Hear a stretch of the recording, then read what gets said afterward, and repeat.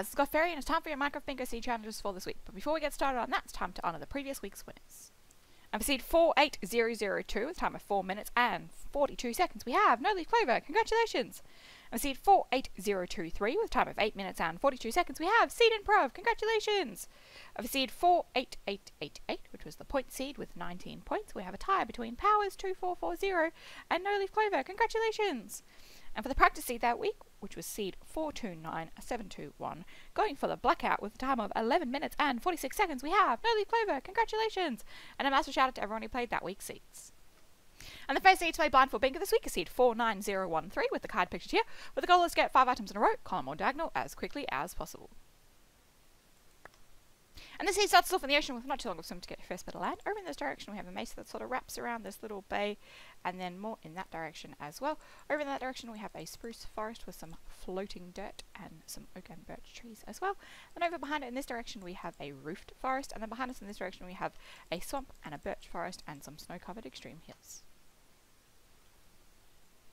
The next seed to play blind for bingo this week is seed 49016 with the card pictured here, where the goal is to get 5 items in a row, column or diagonal, as quickly as possible.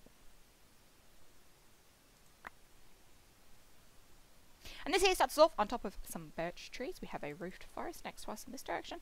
Some extreme hills with some spruce trees on it that sort of keep wrapping around. Across the way we have what looks to be the start of a jungle. We have a swamp next to us as well in this part of the ocean. And then across the way over there what looks to be a desert savanna biome. And for the point seed this week, we have seed 49999 with the card pictured here, with the goal is to get as many of these items as possible in 25 minutes, which is when the game timer reads 1500. And this here starts us off in the ocean with not too long of a swim to get the first bit of land. Over in this direction we have a beach that goes into a roofed forest biome with an oak and birch forest sort of scattered in amongst it. Over in this direction we have some extreme hills with a cool looking waterfall and some spruce trees on it and then some more of the oak and birch forest and the roofed forest in that direction. Then over across the way in this direction we have a spruce forest with some cow friends visible as well. And for the practice seed this week, we have seed 665307 with the card pictured here, where the goal is to either go for bingo or for blackout. You can play as many times as you like, and you're looking for the fastest time possible.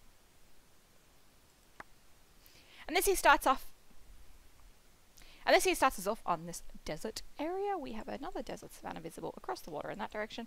Over in this direction, we have some more desert savanna, and then this desert savanna pretty much is its own little island, and that's all you can see. So those are your Minecraft Bingo Seed challenges for this week. I hope you all have fun playing, and I look forward to comparing scores with all of you. Goodbye.